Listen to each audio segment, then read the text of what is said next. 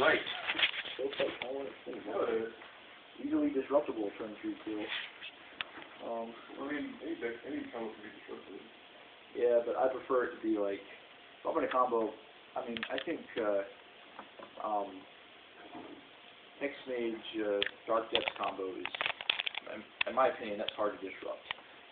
Uh, You need Totsy, or you need, like, Chicken or something, half the guy. or Path to Exile. Or Nowhere, or Seal. Or Knight of Reliquary with Ghost. Anyway, um,